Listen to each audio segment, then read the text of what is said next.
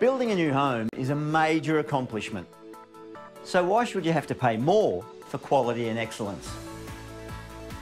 It's why Ross North Homes have developed a range of homes that come fully complete. Get the superb quality and service that comes standard with every Ross North home at a price you can afford.